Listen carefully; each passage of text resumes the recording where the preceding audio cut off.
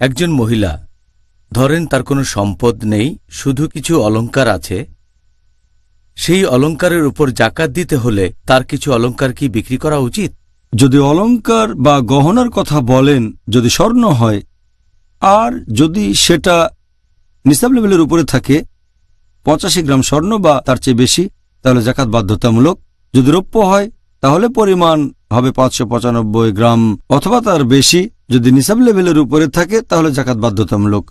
আপনি অন্যান্য সম্পদ থেকেও জাকাত দিতে পারেন, অথবা গহনা থেকেও দিতে পারেন।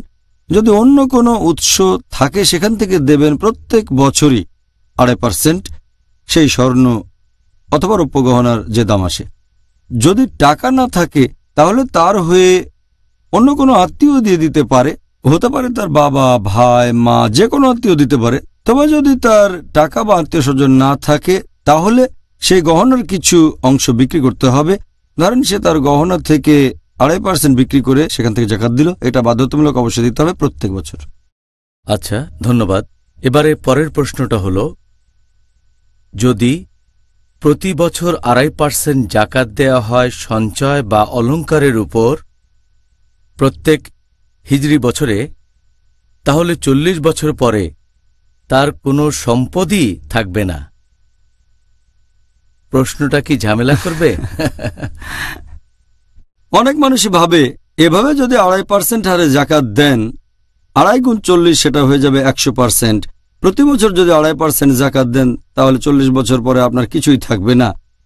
আসলে এখানে যুক্তিটা বেশ দুর্বল, কারণ জাকাত দিবেন সেই সঞ্চয় থেকে যেটা পুরো এক বছর আপনার কাছে।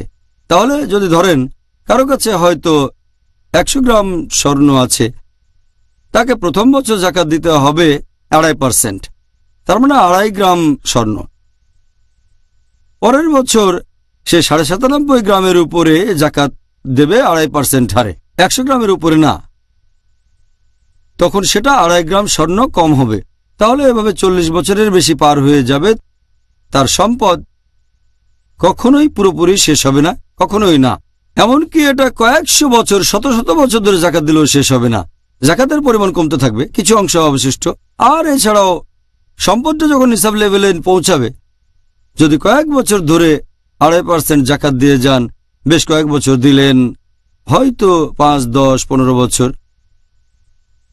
কয়েক বছর পরে, পাঁচ, দশ বছর পরে সম্পদের পরিমাণ নিসাব লেভেলে আসবে, যখনই সেটা পঁচাশি গ্রাম স্বর্ণের নিচে নেমে যাবে এই পর্যায়ে নেমে আসতে হয়তো দশ বছর লাগবে, অথবা একটু বেশি।